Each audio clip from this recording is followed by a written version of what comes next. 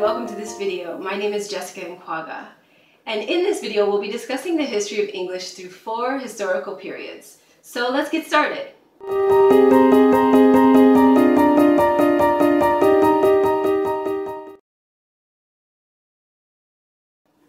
As you know, English developed over time. We're going to be discussing the history of English through four historical periods, including Old English, Middle English, Early Modern English, and Late Modern English. So let's look a little more closely at Old English. Did you know that the Old English alphabet didn't have the letters J, K, V, or W? Have a look at this example of Old English. Do you see a J, K, V, or W?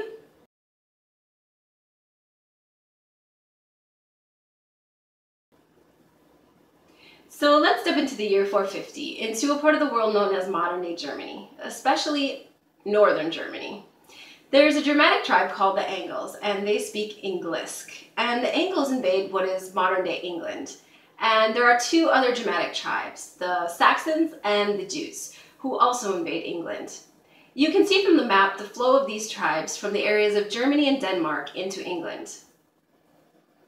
As these tribes enter England, the Celtic people of England are pushed further back into Wales, Scotland, and Ireland, and the language of the Angles, Englisk changes and morphs into Old English. Time moves on and English evolves. Step into the year 700, or around the 700s. The Vikings, or Norsemen, from Denmark, Norway, and Sweden invade England. The Viking language is Old Norse, which is similar to modern-day Icelandic. And Old Norse words like skin, sister, husband, and wing enter Old English. And Old English evolves some more.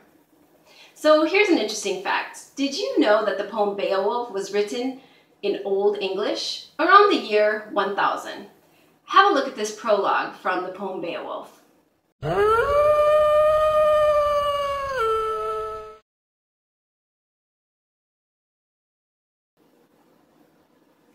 So it's time for a comprehension check. Which language did the Angles speak that eventually morphed into Old English?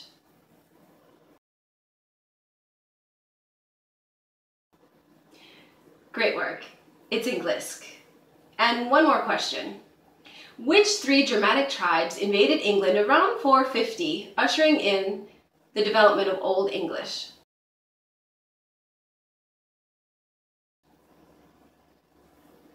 Nicely done. The Angles, the Saxons, and the Jutes.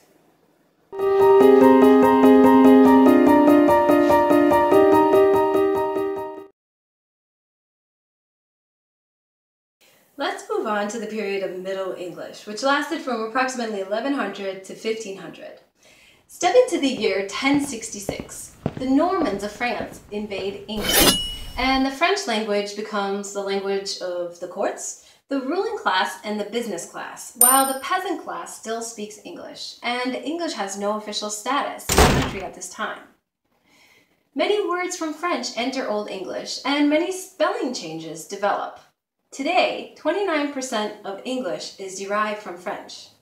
For example, nouns ending in suffixes age, ance, ment, and tion are French origins. That means words like ambulance, government, question, and garage are derived from French.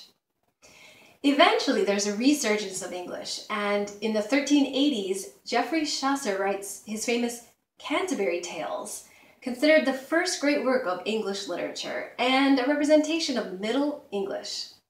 So here's an interesting fact. Did you know that Oxford University opened around 1100 in Oxford, England, making it the oldest university in the English-speaking world? Let's pause for a comprehension check.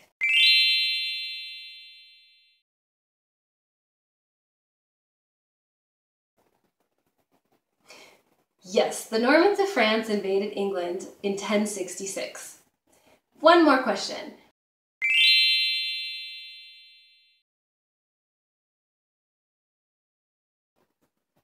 Were you thinking about 29% of English is derived from French?